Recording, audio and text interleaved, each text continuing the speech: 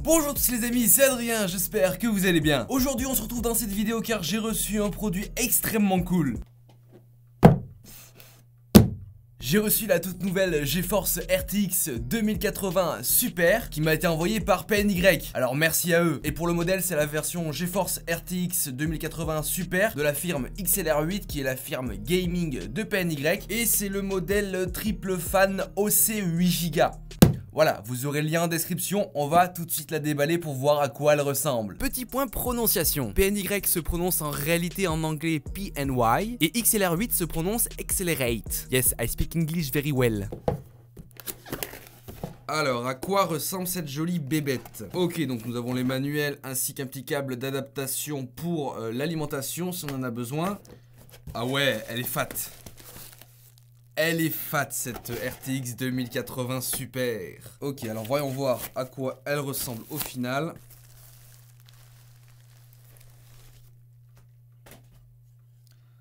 Ah ouais. Elle est vachement classe, hein. Regardez-moi cette backplate très quali. Hein. Ah bah là avec les trois ventilos, elle sera ultra bien refroidie, ça c'est sûr. Hein. Très belle petite euh, GeForce RTX 2080 super. Ok alors les amis, comme vous le savez, il y a maintenant deux ans il me semble, Nvidia a sorti cette toute nouvelle gamme de cartes graphiques, les GeForce RTX. Et en général les amis, tous les deux ans, Nvidia fait une mise à jour, fait une update de ses cartes graphiques en améliorant certaines choses et en ressort des nouvelles. Donc voici les nouvelles GeForce RTX S, RTX Super. Me demandez pas pourquoi ça s'appelle Super, J'en sais rien. On avait plutôt l'habitude de voir la petite mention TI après les cartes graphiques, donc du coup ça nous disait que c'était des versions remastered, des versions bah, améliorées. Là du coup cette année ils ont choisi de changer le nom qui donnait à ces nouvelles cartes graphiques, à ces cartes graphiques améliorées, donc ça sera plus les TI mais les versions S et les versions Super. Donc du coup voici la RTX 2080 Super. Et franchement elle est super classe. Alors du coup cette toute nouvelle RTX 2080 Super est propulsée par la toute nouvelle architecture Turing que Nvidia a lancé il y a déjà quelques temps. Et d'ailleurs j'avais déjà pu vous en parler dans une précédente vidéo quand je vous avais présenté la toute nouvelle RTX 2070 que d'ailleurs PNY m'avait envoyé. Je vous remets la vidéo juste ici pour tous ceux qui aimeraient avoir plus d'informations sur cette nouvelle architecture Turing, sur le Ray Tracing, sur le DLSS que je n'aborderai pas forcément en détail dans cette vidéo là. Parce que du coup je l'avais déjà fait précédemment avec une vidéo vraiment très détaillée à ce sujet là. Mais comme vous le savez l'architecture Turing est un processeur bien plus puissant comparé à l'ancien génération des Pascal. Que ce soit au niveau de la fréquence d'horloge, au niveau de la quantité de puces de calcul, au niveau de la consommation énergétique, bref, euh, les perfs sont au rendez-vous. Bon alors, concentrons-nous maintenant plus précisément sur cette fameuse GeForce RTX 2080 Super. Donc au niveau du modèle, on est sur la version XLR8 triple fan OC 8Go, donc autant vous dire que euh, voilà, ça va pulser, c'est un monstre de puissance, autant au niveau de ses specs, mais autant au niveau aussi de sa taille, donc si vous en faites l'acquisition essayez bien de regarder avant que bah, elle rentre dans votre boîtier. Parce que comme vous pouvez le voir euh, elle est quand même assez imposante donc il faut un boîtier plutôt large avec de la place à l'intérieur. En termes de design comme d'habitude chez PNY c'est très sobre très simple. Ils ont privilégié la qualité des composants il n'y a pas de fioriture sur la carte c'est très simple. Trois ventilos à l'avant donc autant vous dire qu'au niveau refroidissement ça va être le top. Maintenant les amis au niveau des connectiques cette RTX 2080 Super dispose bah du coup de un seul HDMI en sortie et trois DisplayPort donc voilà, comme vous savez, euh, le DisplayPort devient aujourd'hui de plus en plus la norme au niveau des branchements. Dommage qu'il n'y ait pas une petite sortie USB type C, voilà, ça aurait pu être sympathique. En termes d'alimentation, donc en vrai ça va, je m'attendais vraiment à une alimentation beaucoup plus poussée. Donc on est sur une alimentation 8 pins plus 6 pins, ce qui est assez convenable. En général aujourd'hui toutes les alimentations ont ce genre de connectique pour les cartes graphiques, donc ça c'est cool. Ce qui est sympa aussi avec cette version là, euh, c'est qu'elle est compatible avec le SLI. Donc vous avez juste au-dessus un petit branchement que vous pouvez utiliser si du coup vous faites l'acquisition de deux cartes, vous pourrez les connecter ensemble pour former un SLI. Maintenant en termes de spec pur et dur, on est sur une version OC, donc une version overclockée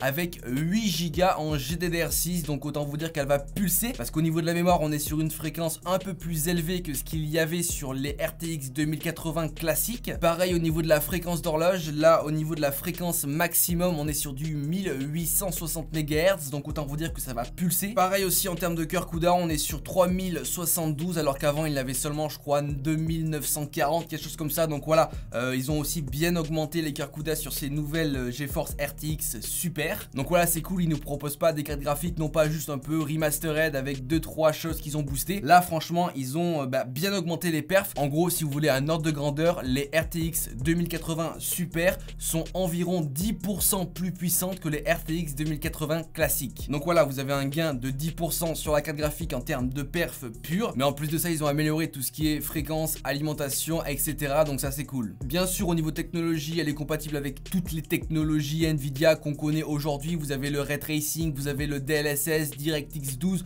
OpenGL 4 et 5. C'est vraiment toutes ces technologies-là aujourd'hui qu'on utilise sur les jeux, sur les logiciels de montage qui font du coup que bah, ces cartes graphiques-là sont aussi puissantes et qui nous permettent de faire énormément de choses parce que là on est vraiment sur une carte graphique haut de gamme RTX 2080 Super. C'est quasiment l'une des plus puissantes qui existe aujourd'hui sur le marché sans compter les RTX Titan et les cartes graphiques professionnelles et aussi pour vous l'avantage que Nvidia sort tous les deux ans par exemple ben, des nouvelles versions un peu améliorées de ces anciennes gammes c'est que du coup comme vous vous en doutez les anciennes gammes vont aussi baisser en termes de tarifs. Malgré que ces RTX versions Super ne sont pas ultra chères on va pas se le cacher que Certes, c'est un prix, ouais, euh, ok, c'est un prix, mais c'est pas excessivement cher par rapport à la puissance qu'elle dégage. Par exemple, pour ce modèle-là, pour euh, cette RTX 2080 Super OC triple fan 8 Go XLR 8, bref, la totale, on est sur un tarif de 884 euros.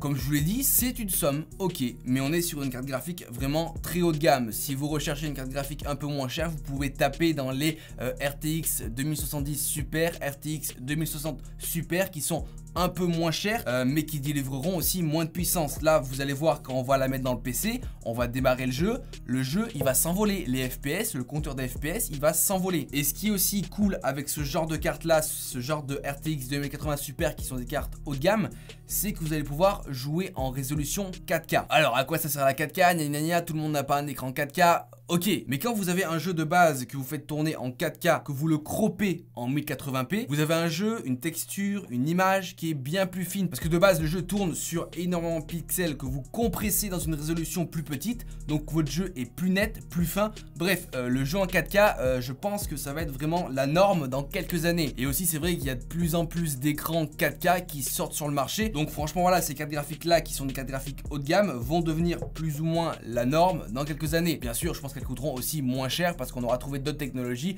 par exemple des cartes graphiques qui feront tourner les gens en 8K, pourquoi pas. Dans tous les cas les amis, vous aurez le lien de la carte en description, n'hésitez pas à aller voir ça, vous aurez aussi des specs un peu plus détaillés, n'hésitez pas à check ça. Et pour tout ce qui est ray tracing DLSS, je vous renvoie à la vidéo que j'avais fait précédemment sur le sujet, n'hésitez pas à aller la voir, en plus je vous présenter une RTX 1070 de chez aussi PNY, et surtout vous pourrez voir du coup la qualité de leurs produits et surtout leurs prix qui sont assez compétitifs à ce sujet là. Bon du coup maintenant c'est parti, avant de passer au test jeu, on va directement la mettre dans mon joli petit PC gaming.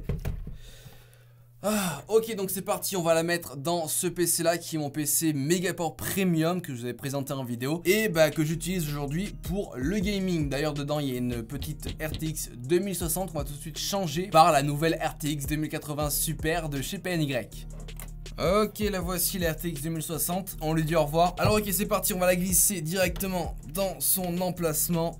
Ça a fait clic, elle est dedans. On va tout de suite mettre un vis histoire qu'elle ne bouge pas. Ok, regardez-moi ça, elle est bien. Et comme je vous ai dit, il faut un boîtier quand même assez grand de sorte à ce qu'elle rentre bien et qu'il n'y ait pas de soit de partie métallique qui gêne. Voilà, comme vous pouvez le voir, elle prend quasiment l'intégralité de mon boîtier. Ok les amis, donc c'est parti. On va directement allumer le PC, installer tous les pilotes, tous les drivers, la configurer et ensuite on ira directement en jeu pour voir comment elle fait tourner ces jeux là, comment elle gère ça au niveau du bruit, au niveau de la chaleur, mais aussi au niveau des FPS et au niveau de la qualité de jeu. Donc c'est parti, on va tester ça tout de suite. J'ai donc commencé mon test de performance sur le jeu Control car Nvidia a récemment déployé son DLSS 2.0. N'hésitez pas à faire la mise à jour du dernier driver afin que votre RTX puisse en bénéficier. Le DLSS 2.0 est une version bien améliorée par rapport à la précédente. Pour rappel, le DLSS va vous permettre de jouer dans une résolution supérieure sans perte de performance car votre carte graphique va calculer le rendu des images à une résolution inférieure. Avec cette version 2.0, votre image gagne encore plus en détail grâce à l'intelligence artificielle. Vous vous retrouvez donc avec une image plus nette et plus fine qu'avec la version précédente. C'est de même pour les FPS qui ont connu un joli boost grâce à cette mise à jour. Sur le jeu Control que je fais actuellement tourner en 1920 par 1080 Ultra sans DLSS, on retrouve une moyenne constante de 60 FPS avec une qualité d'image extrêmement proche de la réalité. De même avec cet autre gameplay toujours en 1920 par 1080 Ultra, cette fois-ci avec le DLSS activé. On retrouve toujours une très bonne qualité des textures mais avec un beau boost de FPS, car on est sur une moyenne de 90 images par seconde. Cette technologie 2.0 du DLSS n'est pas encore disponible sur tous les jeux, mais le catalogue devrait s'étoffer très rapidement. J'ai poursuivi mon test sur le jeu Fortnite, ce qui n'est pas forcément très probant et très illustratif en termes de performance, car on sait tous que ce jeu ne nécessite pas forcément une telle carte graphique, mais c'est quand même plaisant de jouer avec un jeu ultra qualitatif et avec beaucoup de FPS. Maintenant, dernier jeu, Warzone, il tourne actuellement en 4K Full Ultra à environ 65 FPS. C'est une très belle performance, surtout avec euh, cette haute résolution et ce jeu qui est quand même très gourmand en performance. Ensuite, un autre gameplay sur Warzone, cette fois-ci en 1920 par 1080 Ultra, il tourne à plus de 100 FPS, ce qui est assez énorme. On a un jeu ultra beau et par conséquent ultra fluide avec de tels FPS. Enfin, on termine par un bench 3D Mark sur Port-Royal qui est réservé aux cartes graphiques disposant du ray tracing. On obtient le score de quasiment 7000 points, ce qui est une très belle performance, surtout sur ce bench très gourmand. Donc ouais les amis, j'espère que cette vidéo sur la GeForce RTX 2080 Super XLR8 triple fan OC de chez PNY vous aura plu. En tout cas, comme d'habitude, vous aurez tous les liens importants en description ainsi que le lien vers bah, cette magnifique carte graphique, ce beau bébé. Comme d'habitude, si la vidéo vous a plu, n'hésitez pas à lâcher votre meilleur like et bien sûr, abonnez-vous à la chaîne en activant la cloche pour recevoir toutes les notifs. En tout cas les amis, moi je vous dis à plus dans de prochaines vidéos. Allez, ciao tout le monde.